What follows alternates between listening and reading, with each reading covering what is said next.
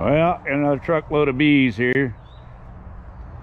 I went to help my buddy Byron today do his splits and stuff, but the weather's not real nice.